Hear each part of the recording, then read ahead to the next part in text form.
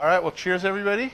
Cheers. We are at uh, episode three of Drink Local. We are at Fame Lounge, back at Fame Lounge, good place to be. Nice, great place. And uh, I'm here with uh, Benjamin Anglin, aka Jamin. Yep.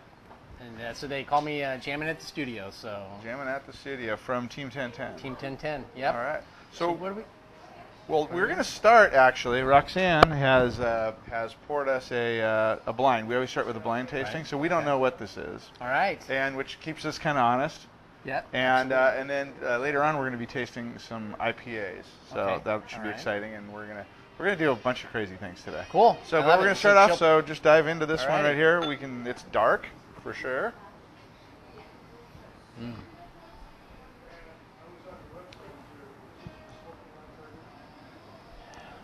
Oh wow.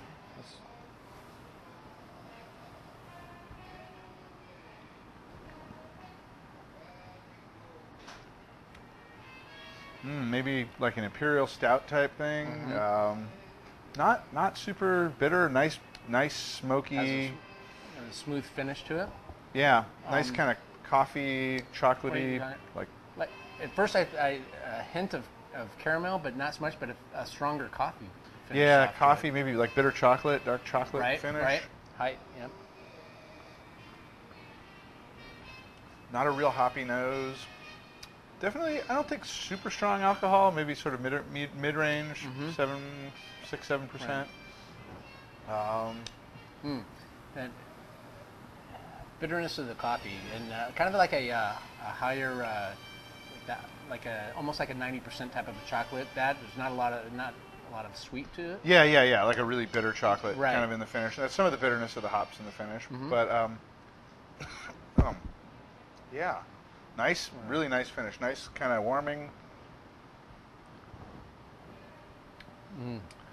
That that's Looks- something I could drink a bunch of. Yeah, absolutely. Yeah. And in fact, it looks almost like a little bit of a like an espresso with the crema on the top. doesn't Uh, it? yeah, it does. It has almost a coffee appearance to it. Very so nice. I, I have no idea what this is. Does uh, Does Roxanne know what this is? Uh, well, you know, you guys are drinking the Game of Thrones Take the Black Stout. Game of Thrones. So this is a stout. All right, what you taste like? Um, so Game of Thrones. Game of Awesome. Thrones. Great. Well, anyway, you can, you can cheers. So uh, a good a lot start of video to games uh, with this. a good start to episode three. So uh, thanks to Roxanne at Thank Fame you, Roxanne. Lounge for uh, for pouring this, and I think she'll be joining us a little bit later. Great. as we um, as we get into the tasting. So um, let's see. I'll go, go ahead and we'll do the uh, Ballast Point news for today. So I always like to say a little bit about what's going on with Ballast Point Brewing Company. Um, so we are uh, well, the Sculpin. Um, oh gosh, what's the name? of it? Thrillist.com has named it the uh, top uh, top IPAs in the world. The Sculpin IPA has been named the number two IPA in the world, behind the famous Blind Pig Fantastic. IPA from uh, Wow. Vinny Cilurzo, Russian River. So that we're up in very That's good company with that. That is huge. The world's number two IPA. Um, a lot of people would argue it's number one, but Right, hard to argue. right, Vinny, right. Vinny Cilurzo, kind of Blind Pig, maybe invented the West Coast IPA style. Well, and So I wanted to ask about that. Sure. Is that you know with Cilurzo, you know they have a, uh, a you know from their wine perspective, and- Right. And Temecula, they do a, a late harvest, which is just you know pheno- a late harvest is, is in this phenomenal. yeah. So did they take some of that, and when they take that into their brewing, I mean that type of. Uh, Well, well, so Blind Pig was. I mean, Vinny did brew in Temecula, but it was strictly beer. It was Okay. di- it was distinct from the winery operation, and then um, and then he moved up to Russian River Brewing Right, Company. okay. So up there, he resurrected the recipe for the Blind Pig IPA up at Russian River. okay. So that's it's it's a Blind Pig label brewed at Russian River Brewing Company. Right. Um, but yeah, so he started off. You know, his family owned the winery, and And- he disappointed them by going into the beer business. and yet he's got a number one uh, beer that he produces too.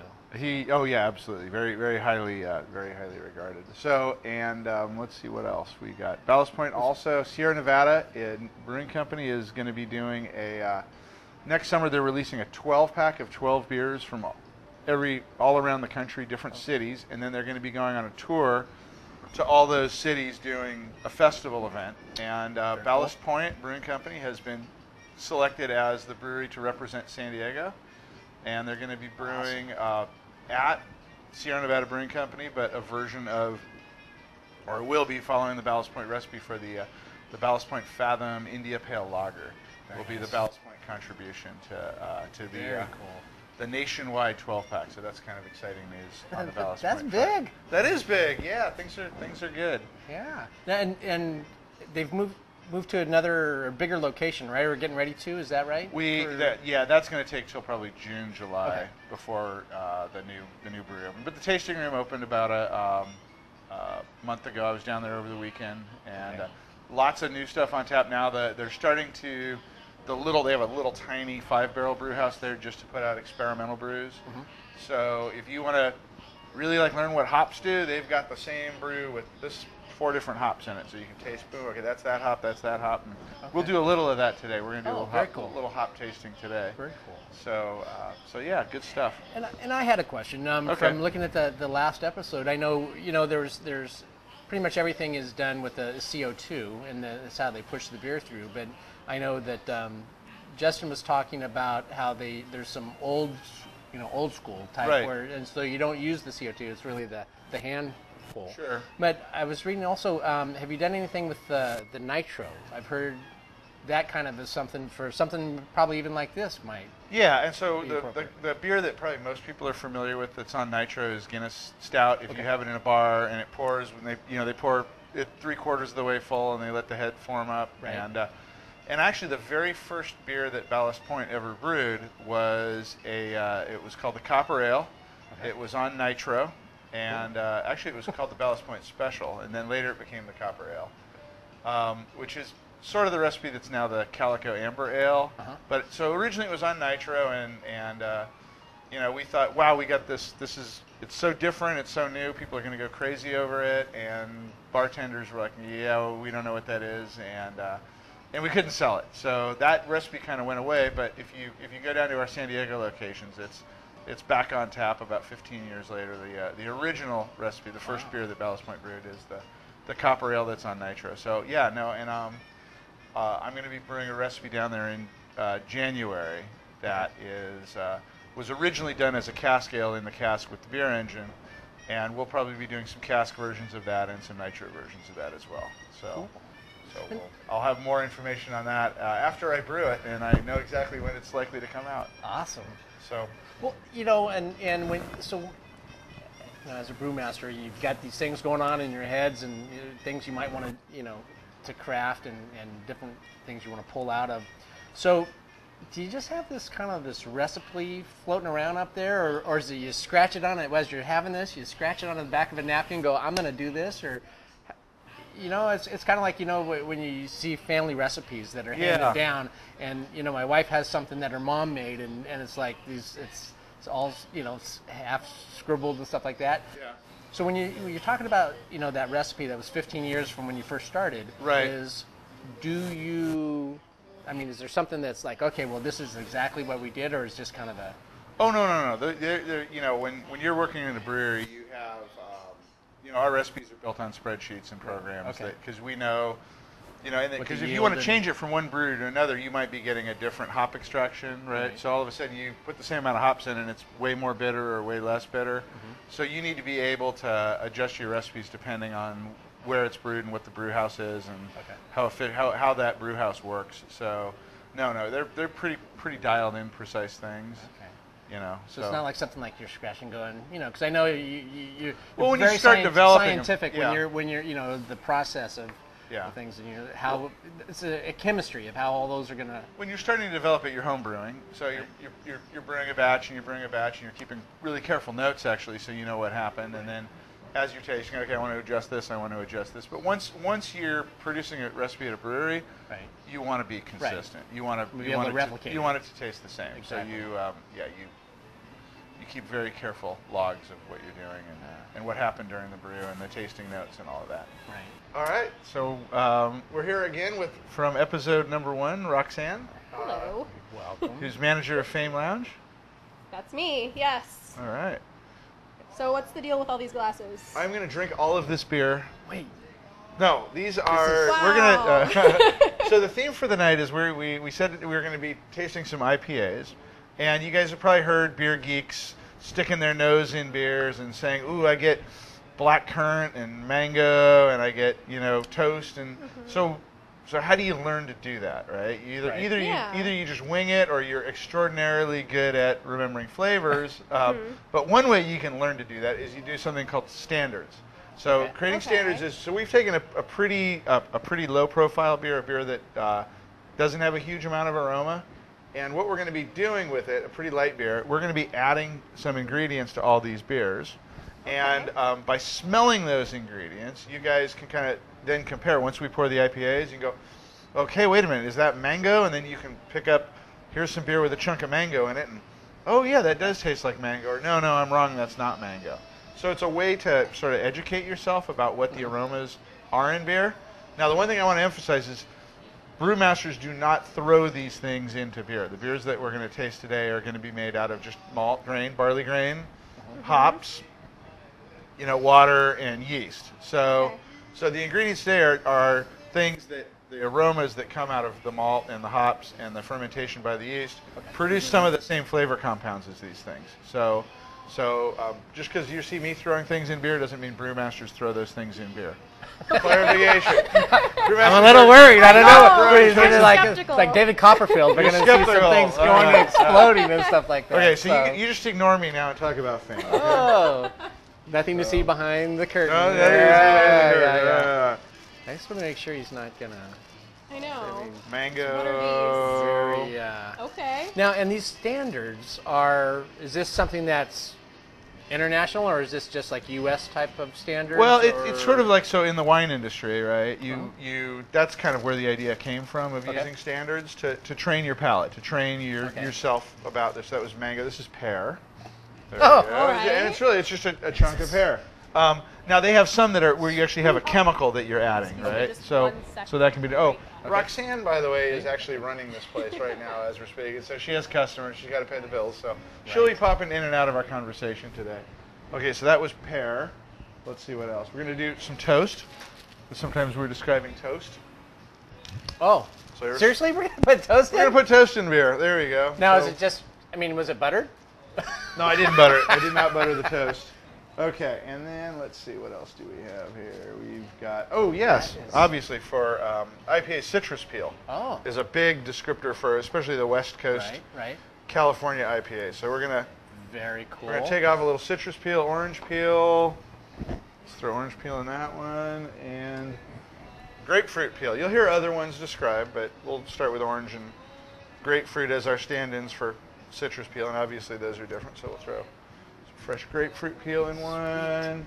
Not really sweet. Um, Grapefruit. and then let's go for some actual hop variety. So just some some hops themselves. So we're gonna have this is some. Uh, You know, you have to be careful. Make sure you don't, you know, get stopped afterwards. All these little bags of things. little bags of things. So, so these right here, like you guys have probably seen hops looking like those those pretty pictures that look like little pine cones Right. or pineapples. Um, so what the what the uh, the hop makers do for better long-term storage, you can use flower hops like that, but they're also they take them and they they basically run them through a, a machine that powder powders them and pelletizes them, and they look like rabbit food. It does. So- I thought that's what you're. Yeah, at. so I better keep these straight. So this is Tettnang, and that's going to be very typical of a European, a German style hop that you might find in a uh, a German Pilsner. Probably not going to get too much of that in West Coast IPAs.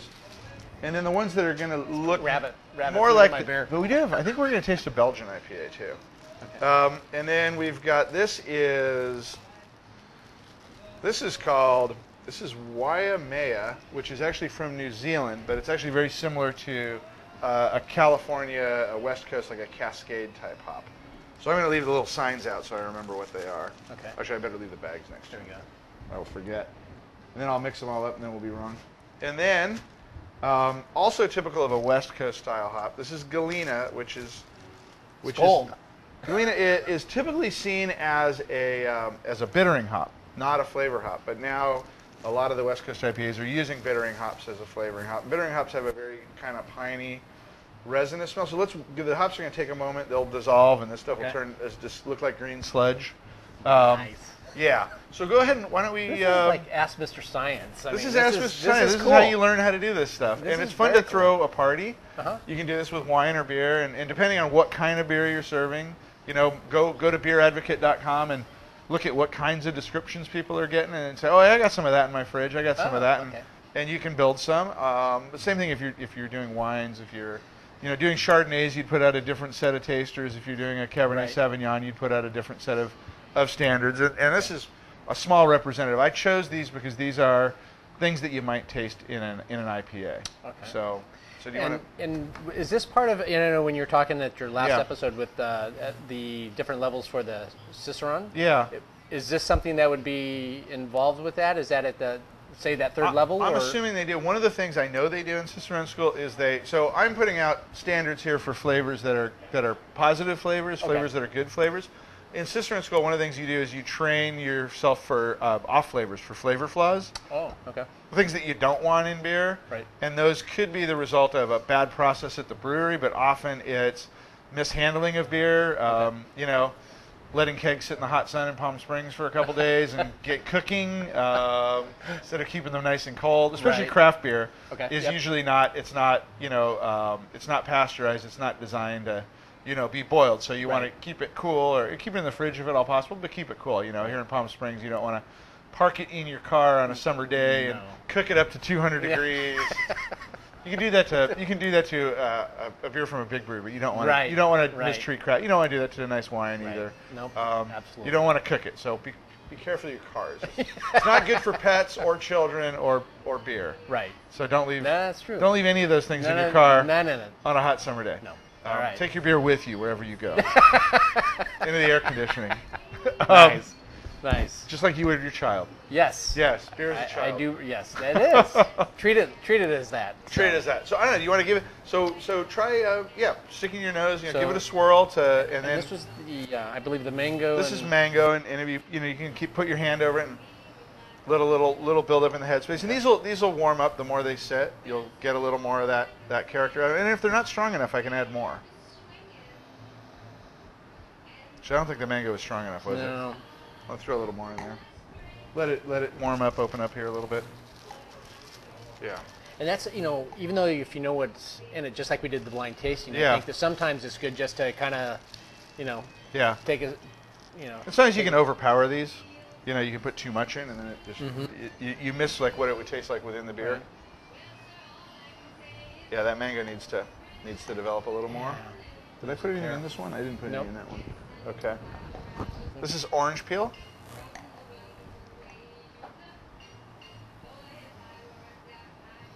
Oh yeah. Right. So Yeah. and that would be a hop. So these all would be kind of a hop character. Okay. The the some of the fruity flavors might also come from yeast. Mm-hmm. So uh, especially ale yeast produce some fruity characters. Not like the citrus peel, but things like the like the pear. Um, this is toast. That would be a malt character. And most of the IPAs we're going to taste are going to be hops. The whole point of IPAs is hop, hop, hop. So That's yeah, and that would be something that comes from a toasty or a toasted malt kind of character. wow.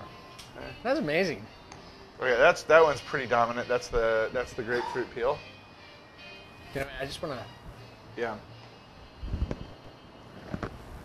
Difference between grapefruit and orange Mhm, peel. It's yeah. pretty pretty strong. hmm Let's see. And the hops haven't really started to. Maybe a little bit. There's the Tettnang. That's the that's the German style hop. More European, described as a, kind of a spicy hop. Yeah.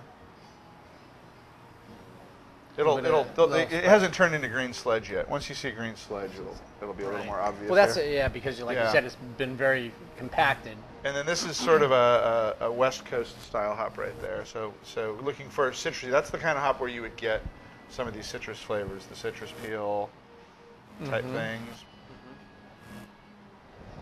Ah, Started without me. we know we started just we haven't tasted any beer. Well, we need you we need you to pour us beer. Oh. All right. Plus, you have to you have to. Okay. So do, is that coming? I think Well, yeah. these need a little more time. These need yeah. a little more time. All right. Well, let's And let's. then, uh, um, didn't we do? We did three, right? So far. And this the- is Galena, and that one is again it hasn't it hasn't really opened up yet. That's going to be more um, kind of it's got some of that citrus character, but it's also got kind of a resin pine Right. pine tree resinous kind of character to it. smell. and hops are pretty pretty complex. So Mhm. So, what are you opening there? Bottle of Moscato. Okay, that's what the orange is on there for. All right.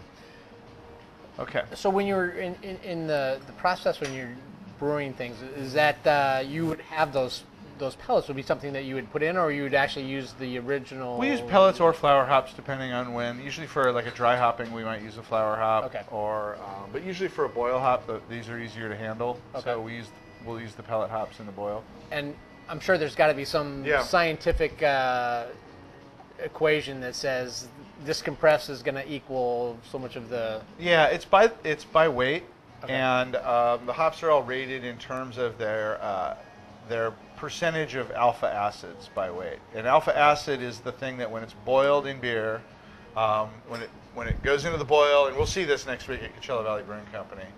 uh, um, when the hops go into the beer, as as it boils, it extracts um, some percentage of those hop alpha acids, and that's Okay. what gives beer its bitter flavor. Okay. So some hops are added to the boil and they're boiled, and those, depending on how much hops and how long, that's where a beer gets its bitterness that balances the sweetness of the malt.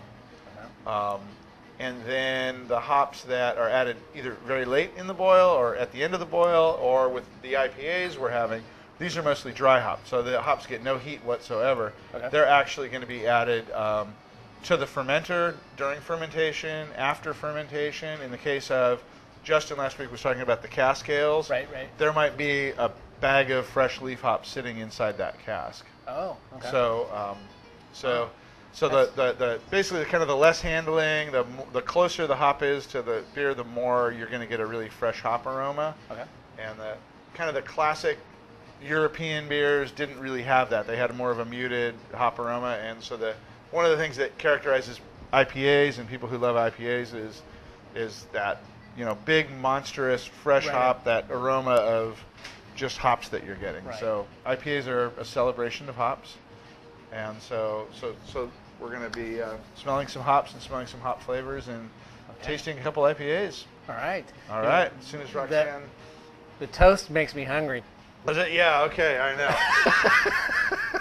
so while we're in fame, I just want to point out one thing about it is I- I've actually walked past this place a few times because I saw the microbrews, Right. but I also saw Cigar Lounge, and I was like, oh, I don't want to sit in a place that's really smoky. And uh, I've been in here a few times now, and it's got a, there's a pleasant aroma of, of some really nice smelling cigars, but they have a they have a really good ventilation system here. It is amazing. And uh, so right now there's nobody smoking, but I've been in here with you know people smoking cigars, and, and it's not it's not uh, it's it's fine. You know the smoke is going out through that ventilation system. You're not sitting here getting your eyes itchy, breathing secondhand smoke, Right. and, and and it's okay. You can taste beers, uh, you can smell the aromas in beer. Right. So um, so yeah, it's a cigar lounge, and it's it's a very cool place. It's a very chill place. yeah, It- and it's not smoky. and it isn't. So when we were doing a blind tasting, and we kind of Right. start off each episode that way, is that if we did a blind taste with Ballast Point brew, is it something that you're able to? I mean, is it that distinguishable that you're able to say, "Hey, I, that's that's a Ballast Point"? That's a Ballast Point beer. And, you know, that's a good question. I kind of wonder that myself because a lot of times your your perception of beer changes as you taste it, Right. depending on what you've had to eat, depending on what environment you're in. You know, um, so it's it's it's hard. I mean, you know, you always see the thing where the wine tasters, oh, this came from this vineyard, this wine, and that's that's that's kind of BS. Right. Um, you know, they've done stuff where they take you know people and they put brown paper bags on wines, and they have a very hard time tasting it.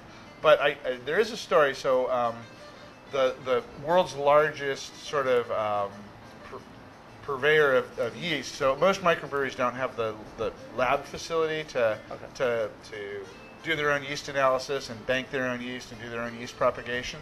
So there's a company down in San Diego called White Labs, which actually began as a supplier of uh, beer to Home Brew Mart, which is the parent company of Ballast Point Brewing Company. And so White Labs began as, as Home Brew Mart yeast, and now it's worldwide. They're, they're sold in every country in the world, and they supply breweries in all over the world. And um, but one thing White Labs did early on with us, i- and they still do this. And actually, I was thinking I would call call them up and ask for uh, a, a, a flight of these for their tasters. So they would take um, a run of our beer before we fermented it, and we would put it into 30 different um, carboys, like homebrew things, and White Labs pitched a different yeast into each one, Okay. and then fermented them and bottled them uh, as a way of, of kind of educating people what is the effect of yeast on beer, because that's kind of nebulous. It's really easy to talk about hops. It's really easy to talk about malt. Uh, Right. Yeast is a little more subtle. So they ran about about 30, I think it was actually about 20, about 20 different um, uh, fermentations, and they bottled it and they brought it and they had all the brewers come. And so tasting, okay, this is what it tastes like with this yeast, this is what it tastes like with this yeast, and so I'm with my guys from Ballast Point, and we got to one, and as soon as we tasted it, we all said, that's our yeast. That's our, because we were, it was the dead on, that's the Ballast Point house yeast strain.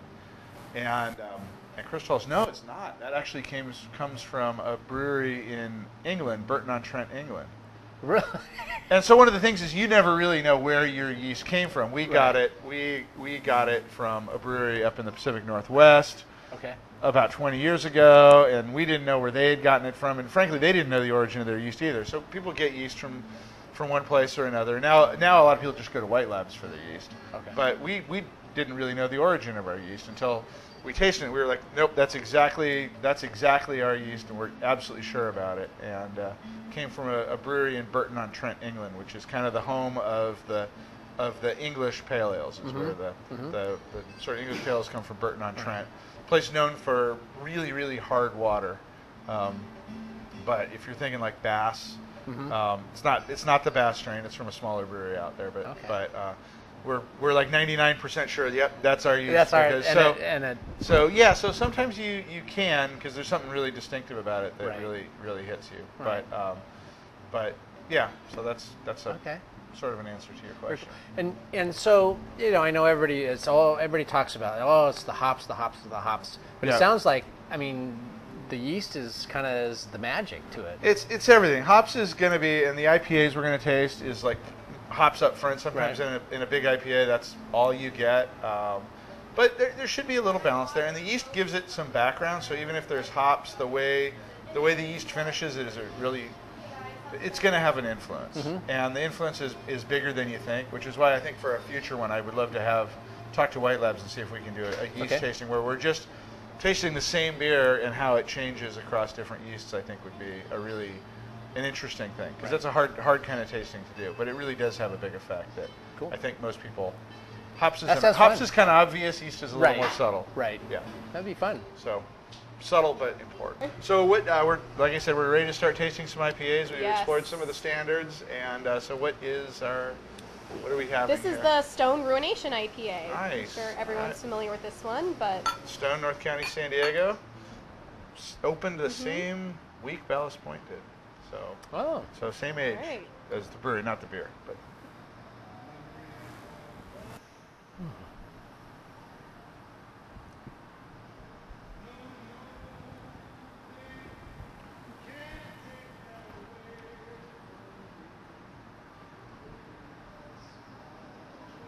All right, so going to our standards, what do you, uh, what do we think we're getting out of that? Or we could be getting, this isn't every possible flavor in an IPA. You've got the mic. You've got the mic. oh what no, I'm thinking, I'm thinking. Thinking, thinking? Um, all I can taste is pine. Like, Yeah. Oh, pine. All right, all- so let's so let's try the try the Hmm, the Galena hop sorry. standard. Alright. Oh, thank you. Yep. There we go. Galena hops. And I'm not saying it's Galena, but that's pretty typical. Oh, don't drink that. I'm gonna drink it. Oh, don't drink the standards. All right. Just smell them. Damn it. Sorry. Yeah, yeah, yeah. that's why. Again, that's Gonna be that's super why. bitter, That's yeah. why.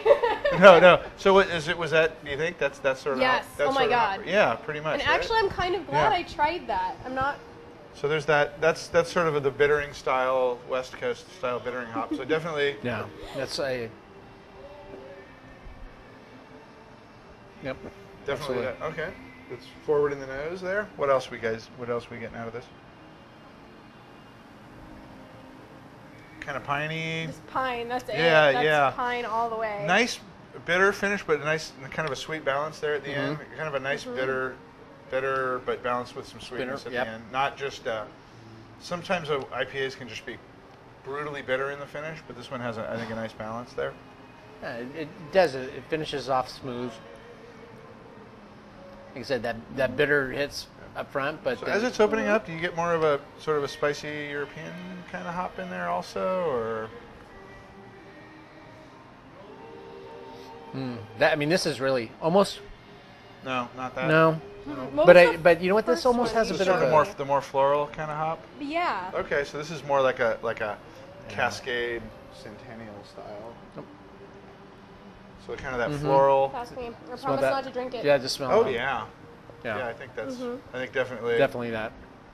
So some pininess, some of that kind of floral Cascade. citrus. Yeah. So what about the citrus? Does it seem like any grapefruit or any orange Grapefruit. peel or maybe not orange peel? No. Probably a little bit on the grapefruit, a little lighter, Yeah. Lighter citrus. See what do you think of the grapefruit peel? Definitely. Not toasty, I don't Yeah. think. Not No. getting a lot of malt character out of it. And that's typical of an IPA is you're going to get mostly hops. No. How about how about the sort of pear? No. No. Nor I. No. Okay. So um, so that's the ruination IPA. hmm So any other any other thoughts on it? Really nice nice head retention, nice lace on it, nice color to it. So what would you pair with this if you're just IPAs are kind of their own thing. Um, you need some pretty, um, yeah, it goes good with, with a lot of different foods. Um, what would I pair with this? I can see this with a nice piece of fish, grilled fish, coming up there. So Mhm. the fish kind of a little blandness, but the beer kind of sets that off. Brightens Um, it up. Brightens it up that. a little bit, yeah. What about if you did something even with a little bit of a, a blackening or a Cajun type, something yeah, like that? You It could think? stand up to that? for Think that? Yeah, yeah. Grilled fish or a blackened Okay. fish, something barbecued would be good. Right. Yeah. Okay. Well, thanks. So that's the uh, Stone Yeah, Ruination. Stone Ruination. Okay. Yep. Nice. All right. Yeah, All Roxanne. right. So what do we? Uh, what do we? What? Which IPA are we tasting? All next? right, this is the Ballast Point Big Eye, actually one of yours. All right. I did contribute to the not not 100% mine, but Mm-hmm. Yuseff and I. This was one that I contributed to the recipe Contributing. on. Smell a little bit of the uh, like the flower, Okay. floral, So. Real the floral um, whatever the the flower, the cas is it Cascade? Is that Cascade? Yeah, yeah. Okay. So, so it's it's a uh, it's a Cascade Centennial, is the hopping in this. So, Okay. Yeah, definitely. You're you're right on there. Am I the only person getting pear here? Pear. I really. All right, let's go to the pear standard Pear. and see if we agree. Yeah, I think I think so. I think you got that. I'm getting some citrus peel, more like an orange peel. I think, kind of citrusiness, I get a little pear. but subtle. And then toastiness, A little malt toast.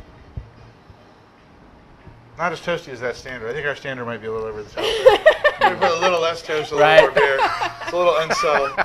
We sink the sink the toast there. A little too much. A little too toasted. Mm. Got But um bum. All right. So what about color finish? I'm not going to talk much about this one. So It's a great color. yeah, It's clear. little little little deeper color than a typical Yep, IPA. There's yep. some Munich malt in there that's giving a little more, maybe a little more color than most IPAs will have.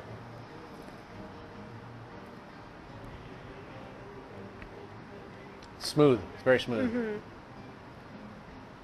I mean, the, the, the Bitterness finish on is the finish, kind of a kind of a nice crisp, kind of a drier finish than Yeah. the than the ruination.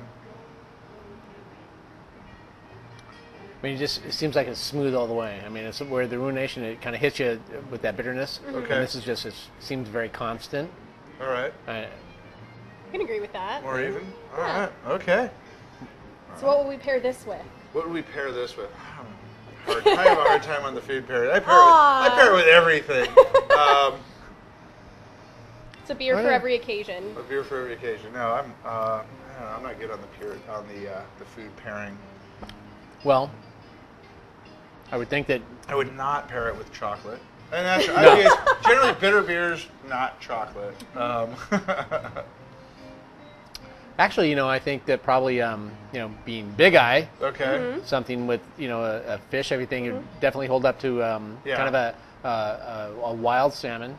And I, IPAs Something in that. general are gonna, you know, I mean, they're generally gonna pair up with the same kind of foods, and fish Mm-hmm. is definitely something they're gonna gonna pair Okay. with. Um, you know, maybe not so much with a uh, a beef. You might want something a little sweeter body, Right. but um, but definitely something kind of blander thing. So What about like fish. a? Yeah, I'm sorry. Uh, what Yeah. about like a um, apple glazed uh, chop, something like that, a little pork or something like Oh, that, you're maybe? Good at this. You're good at this. Yeah, that would be good. That would. Yeah, no, I think you're right. Absolutely. Wouldn't it just kind of glaze that, something, you know, and Okay, apple glazed pork with big Apple eye glazed pork? IPA. I like it. I like it. Yeah. with big eye. all All right. right, All right. Cheers to the We're big there, eye. we're there. All right. Let's get that Okay. ordered. Alright, me too. Okay. All right. Whew. all right. All right. uh, So this is the the Belgian. this is is this the, Troubadour, troubadour? Belgian triple IPA that Roxanne poured for us before she had to get to it. Wow, wow. And triple would mean higher alcohol. Double, double would be maybe a seven, eight percent range, and a triple Okay. we're talking about probably a nine or ten percent range. So Wow. okay. So, and and as we look at IPAs, I mean, what does IPA? IPA Represent, what does it I- I- stand for? In India, it's an India Pale Ale, and they Okay. were beers that were brewed by in Britain. So British Britain had the pale ales, Okay. and they also had a lot of troops in India that wanted to drink beer, right. and so Yep, they yep. would put it on ships with sails and sail them across the equator and then around Africa and then back over the equator, and they found the beer was spoiled. Eh, No So they- refrigeration. So they had to increase the alcohol Okay. which helps preserve the beer, and they had to increase the amount of hops, which also hops are a preservative. Hops help to fight bacteria, keep beer Oh, from spoiling. okay. So that's where the, the, the British pale ales, but the British pale ales wouldn't have been nearly as hoppy. Uh-huh. So the, the IPA style West Coast brewers in California were looking for what, what, what style can we call it if we just want to really start to kick up the hops? And Okay. they they kind of got the IPA style, which is a showcase for the hops. So this is a European IPA. Okay. So it's probably not as hop, hoppy as what we've been tasting. It's very malty. Very malty, a lot of you can t- tell a lot of alcohol, almost like kind of port, sherry kind of Right, flavors, right. nutty, That sherry, I picked that up. warming, maybe raisiny, kind of dried dried fruit. As far as the hops, I'm thinking they're using a, a little bit of a West Coast hop, maybe a blend of Cascade. Mm-hmm. Right. Um, so it's got some of that floral citrus, but also also some um, European hops, some of the spiciness and soapiness, but not not I, the hops are more subtle. Cascade, I think, if Okay. if anything, is what I pick up.